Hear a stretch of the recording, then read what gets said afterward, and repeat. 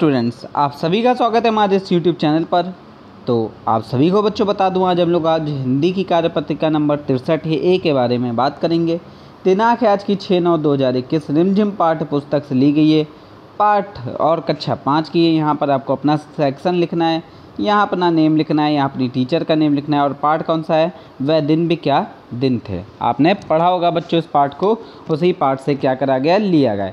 इस कार्यपत्रिका को शुरू करने से पहले बच्चों, आपको बता दूँ कि लास्ट वीक के विनर को हमने क्या एक गिफ्ट दे दिया है और उसके जो है वीडियो पब्लिश कर दिया गया है। उसने जो गिफ्ट अनबॉक्स जब किया था तो उस वीडियो को देखने के लिए आप क्या करें? डिस्क्रिप्शन में जाकर देख सकते हैं या हमारे चैनल पर जाकर देख सकते हैं। इस वीक के विनर का भी अनाउंसमेंट हो गया, उसे क्या है गिफ्ट सेंड भी आज कर दिया जाएगा। तो यदि आप क्या है पासपेट करना चाहते हो अगेन इस वीक के अंदर, ठीक है तो मंडे से लेकर सैटरडे तक के लिए वीडियोज़ में क्या है ओपन करा गया इस कॉन्टेस्ट को। तो आप क्या कर सकते हो, अपने क्लास की वीडियो को लाइक करो शेयर करो, और ज़्यादा से ज़्यादा क्या है फुल वॉच करने की कोशिश करो। और क्या करो चैनल को सब्सक्राइब कर लो। चलो देखते हैं, इसमें क्या दिया गया बच्चों, इसमें दिया गया है नमस्ते प्यारे बच्चों। आशा करते हैं कि आप सभी स्वस्थ होंगे और खुश रहेंगे। चलिए देखते हैं आगे क्या दिया गया इसमें। इसमें बोला गया है, प्यारे बच्चों, आपने अपने पाठ, वह दिन भी क्या दिन थे, इसको पढ़ा होगा और कुम्मी के द्वारा शिक्षा प्राप्त करने वाले तरीके को स्कूल से अलग है। ठीक है, इस समय के साथ शिक्षा के स्वरूप भी बहुत से बदले हुए हैं। ऐसे ही हमारे दैनिक जीवन के प्रयोग में जो है, जानने के लिए बहुत सी वस्तुओं का स्वरूप भी क्या है, बदल जाता है। यानी कि क्या है, जो कुम्मी थी, उसके समय में जो शिक्षा प्राप्त करने का जो वो था स्वरूप। बच्चों, वो बहुत ज़्यादा क्या हो गया, बदल चुका है। ठीक है, पहले क्या है, बुकों से शिक्षा प्राप्त होती थी। अब कुम्मी के समय क्या हो रहा है, टेक्नोलॉजी, रोबोट्स क्या कर रहे हैं, उसे पढ़ा रहे हैं। तो इसी तरीके से हमारे दैनिक जीवन में भी बहुत से स्वरूप बदलते हैं, ठीक है? आइए, अब हम इन दैनिक जीवन के प्रयोगों, होने वाली वस्तुओं के बदले हुए स्वरूप को देखें और दी गई तालिका के उदाहरण के रूप में क्या करें, सही करें। जैसे क्या है, बच्चों, देखो पहले क्या था बच्चों, हम लोग पुराने समय में चिट्ठी लिखा करते थे, अब नए समय में क्या लिखते हैं? ईमेल लिखते हैं। पुराने समय में बच्चों, हम लोग लालटेन का प्रयोग करते थे और नए समय में क्या कर रहे हैं? बल्ब का। तो चलिए मैं यहाँ पर आपको स्पेलिंग रख के दिखाता हूँ। तो बच्चों, आप सभी क्या कर लोगे? आप सभी लिखोगे यहाँ पर लैम्प ठीक है?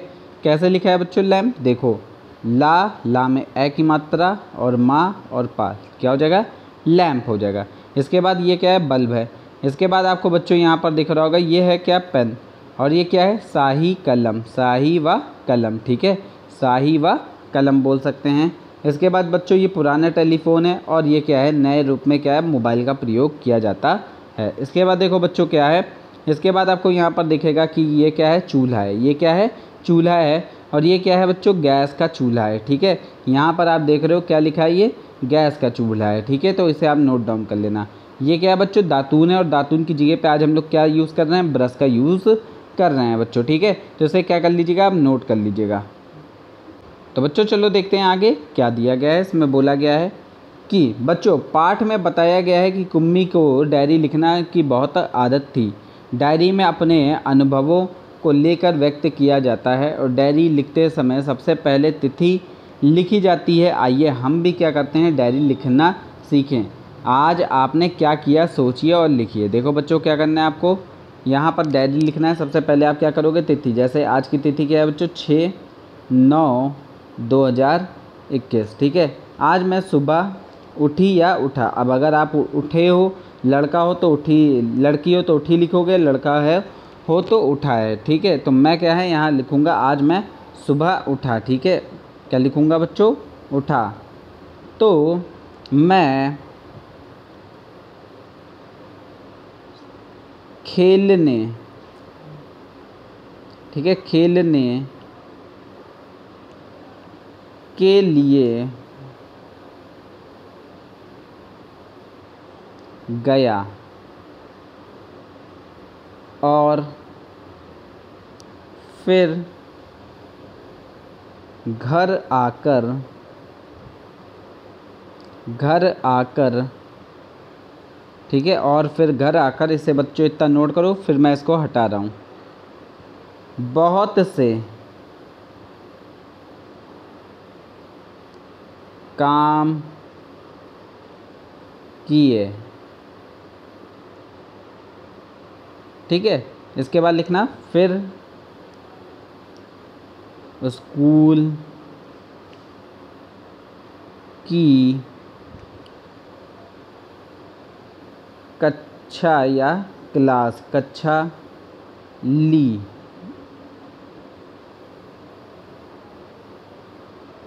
ठीक? तो इसे आप बच्चों क्या करना? नोट कर लेना। इसके बाद देखो बच्चों क्या बोला गया? इसमें बोला गया, आओ, बातचीत करें और प्यारे बच्चों, एक साथ दिए गए चित्रों को ध्यान से देखें। ठीक है? आपके क्या है? साथ में दिए गए है चित्र, इसको ध्यान से देखें। और क्या है? सोचें कि बच्चा जो है और औरत जो है वो क्या सोच रही है और अनुमान लगाकर क्या करें? उनके बीच के संवाद को ज़ोर से बोलें और लिखें। पहले क्या करना है? आपको चिल्ला कर बोलना है उस अनुवाद को, फिर लिखना है। देखो यहाँ पर क्या है? एक औरत क्या कर रही है? खाना पका रही है और बच्चा क्या है? सैतानी कर रहा है, पानी गिरा रहा है। तो ये औरत क्या बोली होगी? कि अरे बच्चे, अरे भैया सैतानी ना करो, कुछ ऐसे ही बोली होगी ना तो मैं क्या करता हूँ? इनको लिख कर दिखाता हूँ। औरत जो होगा, उसका लिख कर दिखाता हूँ और इस लड़के का भी। ठीक है? चलो देखते हैं क्या होगा। तो बच्चों आप लिख लो, ठीक है? औरत में क्या लिखो? तुम शरारत मत करो, मुझे काम करने दो, ठीक है? तो बच्चा क्या है? बच्चा बोलता है, माँ, मैं आपके लिए पानी ले रहा था, पर पानी गलती से गिर गया, ठीक है? तो इसे क्या है? बच्चों नोट डाउन कर लेना, ठीक है? चलो देखते हैं आगे क्या दिया गया है। तो बच्चों, आगे क्या है? अभिभावकों के लिए सुझाव दिया गया कि बच्चों से चर्चा कर सकते हैं कि टेक्निक की उन्नति के लाभ के साथ साथ हमारी पृथ्वी को नुकसान भी पहुँचता है कि इसकी ज़िम्मेदारी जो है पूर्णता निभाने का प्रयास करें। तो आगे क्या आगे आपकी कार्यपत्रिका बच्चों, यहीं पर समाप्त होती है। आपको वीडियो कैसी लगी कमेंट कर कर बताना। वीडियो लाइक करना, चैनल सब्सक्राइब करना। धन्यवाद बच्चों और ज़्यादा से ज़्यादा कॉन्टेस्ट में पार्टिसिपेट करने का कोशिश करना। ठीक है? धन्यवाद बच्चों।